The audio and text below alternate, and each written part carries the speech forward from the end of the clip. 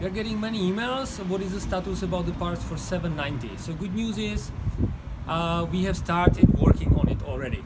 Yeah, there are already some parts uh, you can already purchase uh, in our eShop, uh, lower and larger foot pegs. Uh, second thing, what we have produced, the reinforced uh, carbon and Kevlar tank protectors. They fit with the original skid plate, looks better and for sure they are more uh, more hard than the plastic originals. Everything we have already available uh, it's a ready style exhaust pipe.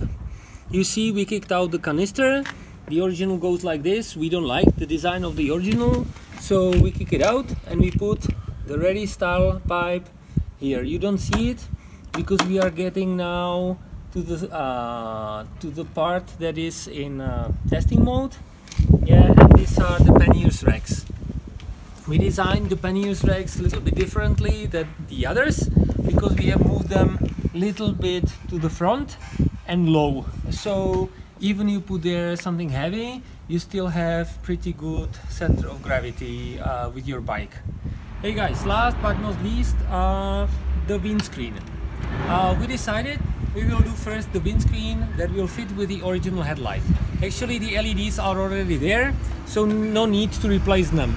We will just uh, design a new windscreen with, uh, with the small uh, deflectors on the sides, yeah, and as it will fit with the original headlights, so the price will be very competitive. Get me right, we won't reuse the windscreen from 1090 we will design completely new one that will fit perfectly with the 790 yeah and if you are curious how will be more or less the final look? You can check our website where are already the sketches and you can subscribe your email and you will get as the first uh, uh, the the updates uh, how we are progressing on uh, production of the 790 windscreen of course you are getting more space for navigation yeah when you put the windscreen like this.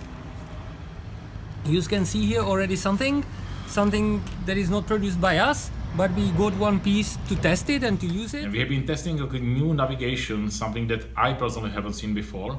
Uh, it's a, a based over a tablet but you can see okay, that what we have okay, up there is actually a road book so uh, the, the device okay, is mounted okay, inside okay, the cockpit. Uh, it allows you to switch okay, between race mode okay, with, with, with a roadbook and regular navigation okay, using Locus Map.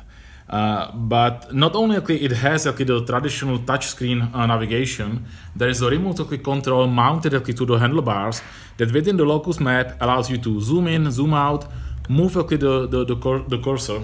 It's a first okay, version. Rate okay, is going to take okay, for a week okay, of testing okay, up okay, in uh, Norway and then we are going to give you another update okay, how it went.